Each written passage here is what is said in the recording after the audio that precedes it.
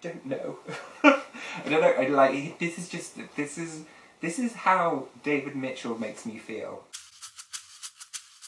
Hi, hello, my name is Ollie Bliss and this is my channel Book Draw. For those who don't know, I enjoy looking at queer fiction and occasionally I create images about it, but today I'm doing a wrap up. I feel like I was probably comatose throughout February and like March was just kind of waking up a little bit. But I have uh, had quite a productive little reading month this month. I'm, I'm very pleased with myself and that's because it's been incredibly easy uh, having done predominantly mainly listening.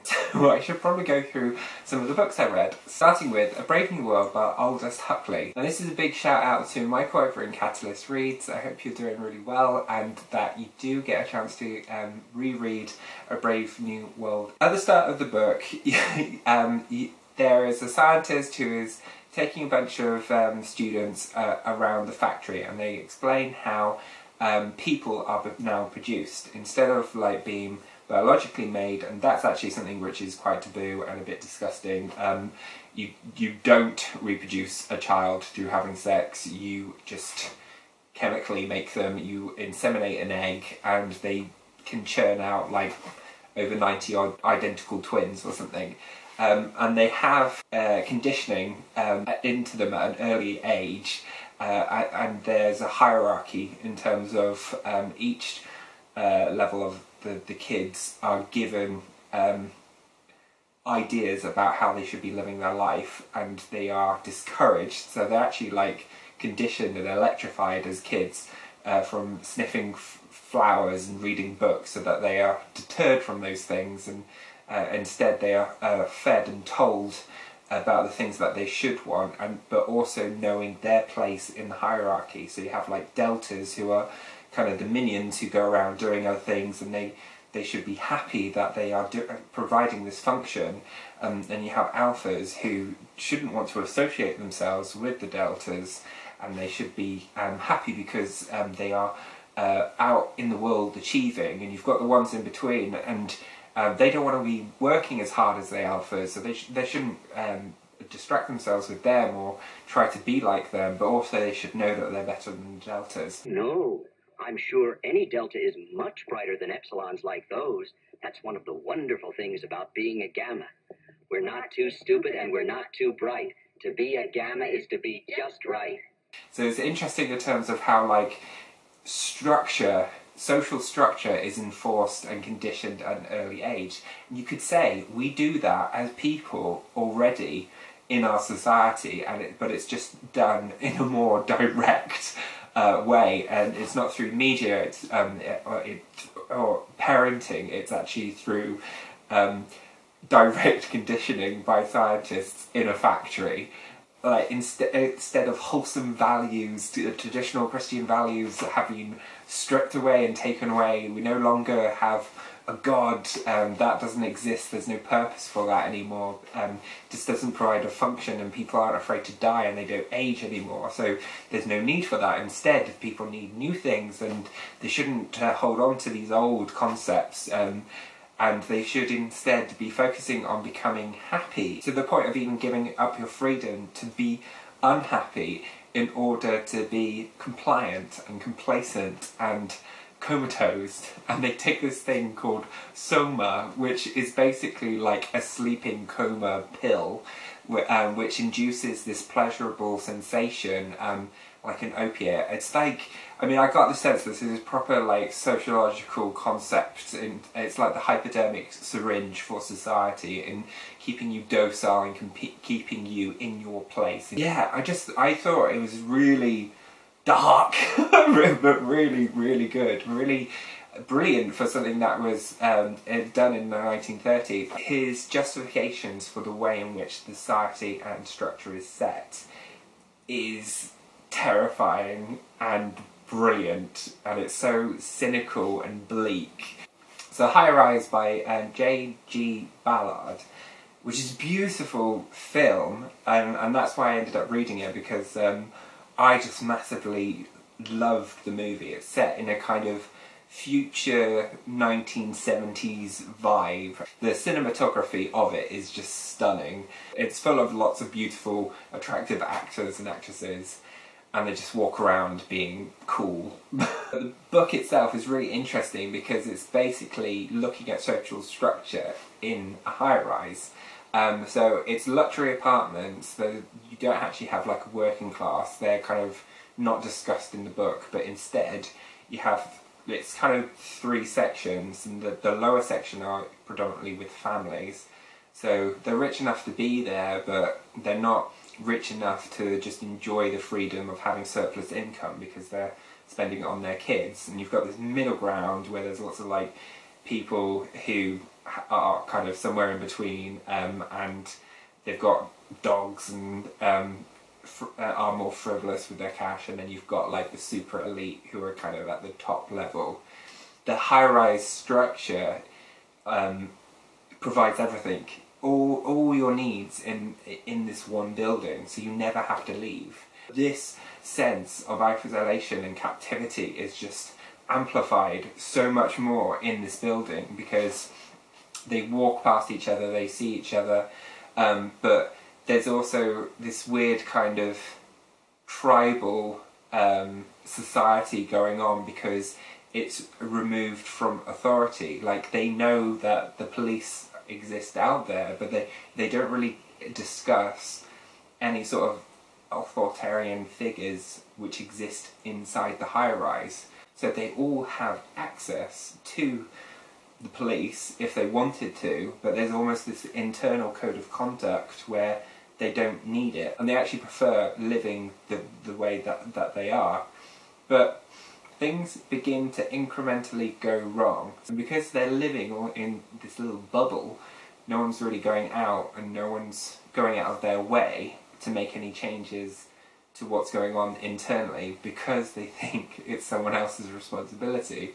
So this, the, and this idea continues that they don't really need to be accountable for anything, and it gets more and more um, prevalent once a dog dies mysteriously in a swimming pool, and also a person dies and um, uh, from falling from the high rise and hits one of the cars outside the front, and nobody tells the police or bothers to call because they all think somebody else is going to do it.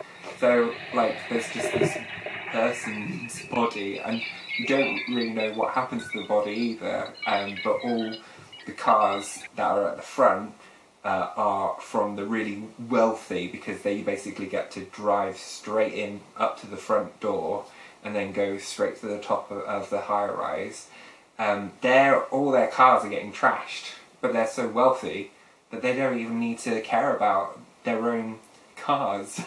the structure begins to erode and implode in on itself to the point where they're eating the dogs and um, they're creating barricades outside of each other's rooms and they're raiding each other.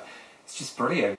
And then in terms of something completely different and fantastical, I also read A Gentleman's Guide um, to Vice and Virtue by Mackenzie Lee. A big shout out to Christopher Gelante, who I know has recently read this as well. Um, I hope you really enjoyed it too.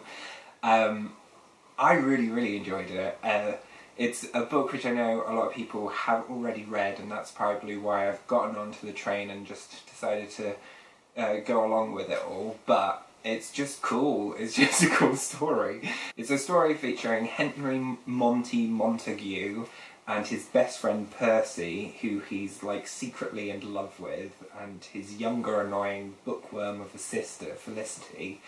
And they're doing a last hurrah in terms of their going off and doing what's like was known as a tour in the 1700s, where they're to sail around Europe and have their last adventure together before they all go off on their separate ways.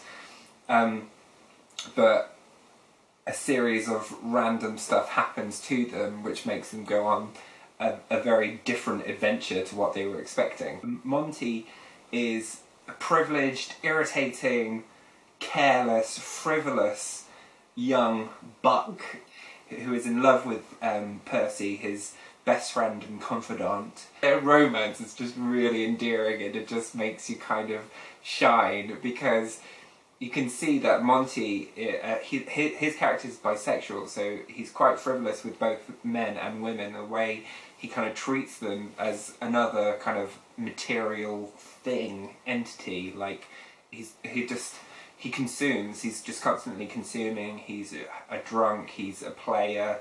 Like he just he doesn't care. He doesn't have to care. He's incredibly privileged. That he just doesn't have to consider other people, but he does consider Percy um, and he, it, throughout the book, is forced to consider Percy more and more.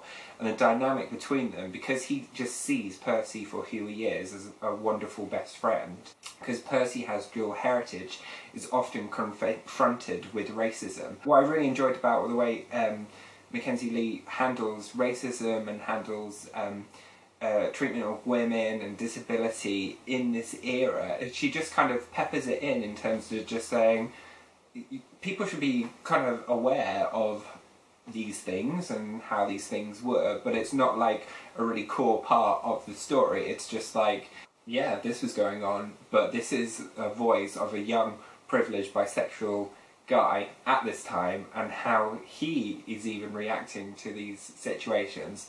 And I thought it was quite cool for, for playing with that.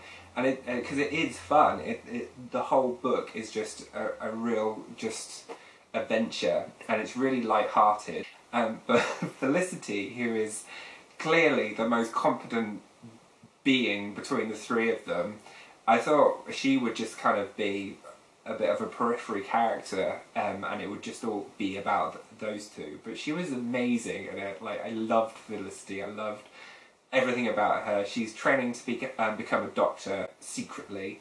She's constantly helping the other two get out of some ridiculous situations and um, she's really insightful and she's very direct and um, but she's also quite devious in the same way that Monty is but she uses her kind of devious manipulative Machiavellian behaviour for the greater good like the only criticism uh, I had of the book is that they're, they're doing this tour and because Monty is he's like this massive drunk player boy, he just he's he's frivolous and he doesn't care about his surroundings at all. Um, and so in a lot of ways there's zero descriptions of the places that he goes to and they are beautiful, spectacular places and the kind of heritage and the history of those places for me didn't come through in the book and I thought just a bit more nuance or a bit more of a reference to sense of place would have lifted the book a little bit more for me. But I get that this is more of a pacey YA book. But I just thought it was a really missed opportunity in terms of there was so much beauty. It's a bit of a disappointment because I came into the book expecting a, a quite a, like a visual feast going from place to place on this epic journey. It was an epic journey. Where they were going wasn't really the key focus of it. It was about what was happening while they were on that journey. And the last book I read was The Bone Clocks, which is by David Mitchell. And I really, really, really love uh, David Mitchell's A Cloud Atlas. So I had high expectations for this book. Um, and it didn't disappoint, but it wasn't as good, I'd say, as Cloud Atlas. So the book starts off in 1984 and it goes through, I think it was like five or six different time periods up to 2043. But all, the characters, it's done from different people's perspectives in a similar way that Cloud Atlas is, but they're all tied into the central character, Holly Sykes. So it's her when she's growing up, she's then an adult, and then she's like a grandmother later on. So you're seeing her different periods of her life, and it's an adventure through time. Um, and what I find really interesting about David Mitchell's style is his overarching themes about life. The Bone Clocks and Cloud uh, Atlas have this sense of some greater agenda, I would say. Like, the way in which Cloud Atlas, they, the people, the way they interact with each other creates these outcomes which influences things further on down the line. That is happening in a similar way to this, and some of the characters you could draw direct parallels from, and there is even actual parallels in the books because they reference the Spyglass magazine, which Felix Finch it mentions in Cloud Atlas. Right there. Ah, you mean Mr. Finch? Finch. Finch. Mr. Hoggins should apologize to the trees felled for the making of his bloated autobiographical novel. 400 vainglorious pages expire in an ending that is flat and inane beyond belief. Steady,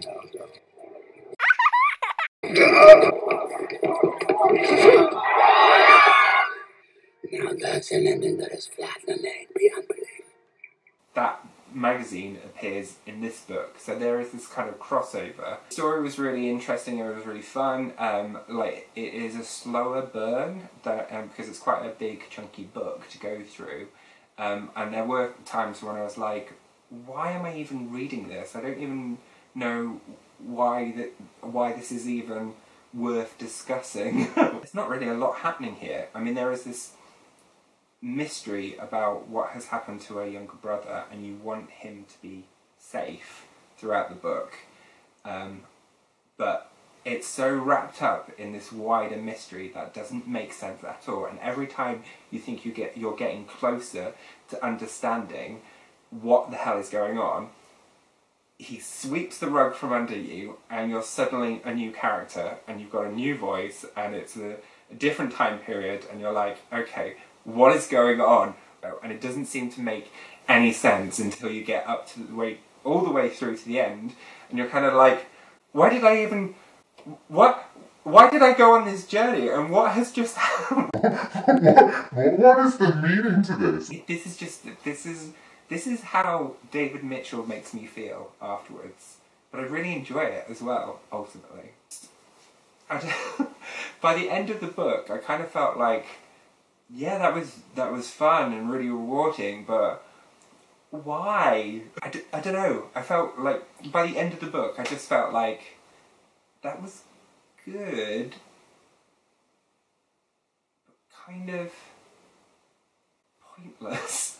like it basically, it feels like a companion piece or an instruction manual to some convoluted mission that's going on in the universe or in our world, and like yeah, you're just never gonna know. And it's he's only actually written it for a handful of people who need to know that that information at one particular time.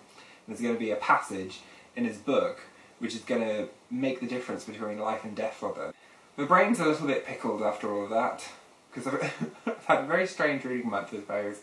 If you've read any of these books, I'd love for you to tell me which ones you've really enjoyed, um, and I will check in with you again sometime real soon. Okay, bye.